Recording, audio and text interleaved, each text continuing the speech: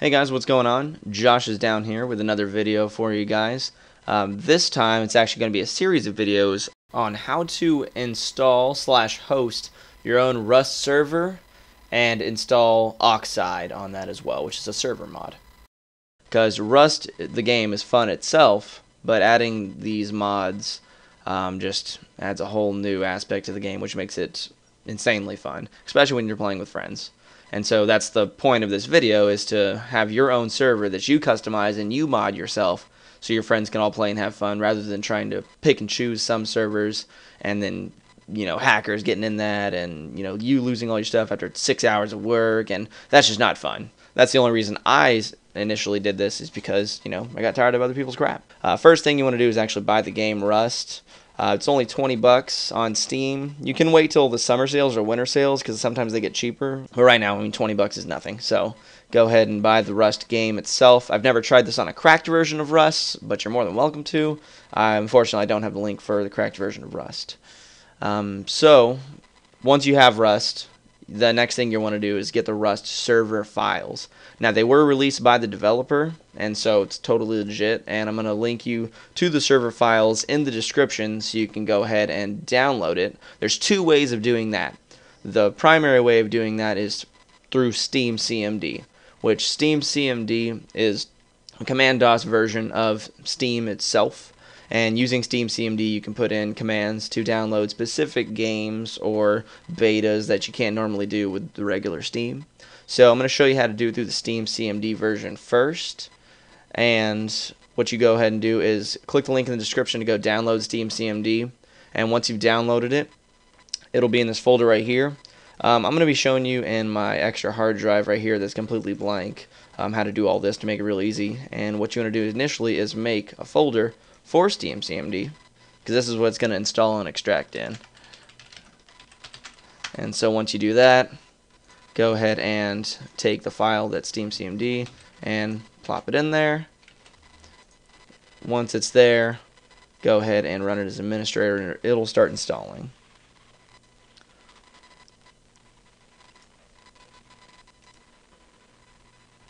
And that's it. As you can see, it totally installed real quick and everything's all good to go. Uh, so first thing you want to do to download these files is you can log into your account by doing this, but sometimes it gives you a little bit of errors doing that. Even though I bought the game, it still says that I don't own it when I try to download these files through it, which I've tried before. So the easiest way to do it is to log in as anonymous, which you just type in login anonymous. And then Bam. Now you're logged in anonymously once you've checked that, and bam, you're good to go. So, next thing is to go ahead and click the link for the Rust server files that's in the description right now, and then you're going to go ahead and type that in.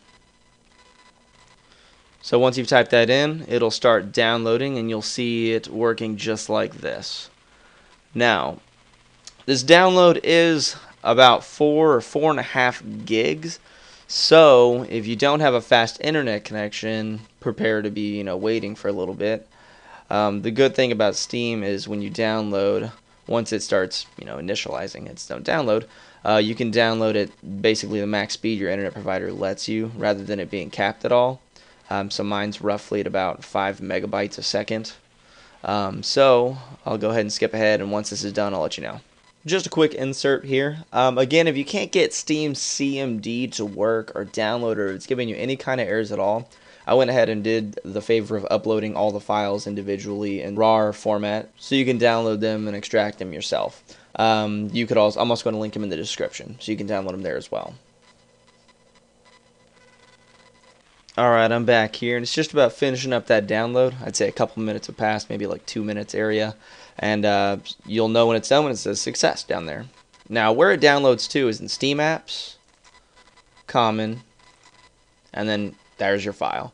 Rust Dedicated is the dedicated server files released by Garry, and so these are the files that you'll need. Now, you won't need all of them in here. The main one you're going to be using is Legacy.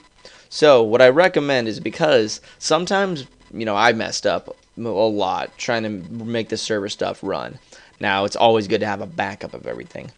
Basically, the only one you're going to be using is Legacy, so what you want to do is copy it, and then bring it back down to the very, root spot of your drive, which since I'm using bonus space, I'm going to put legacy right here.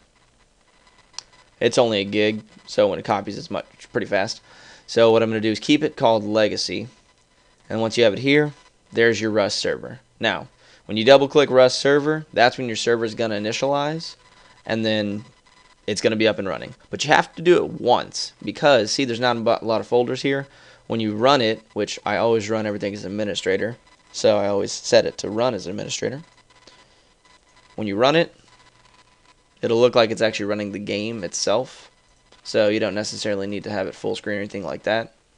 And then you're going to see this box. It's always going to be black. And then here's your server. Allow it to use your networks if you ever want to share it with people and then it'll load everything. It'll say it's not going to find a bunch of files, and then bam, server initialized. And that's the first run. It's going to look all messed up like this. What you do is just go ahead and close it. It closes them both. And then now you see more files were created, which is this is the exact amount of files you're going to want to need right here. Now, that's the end of part one.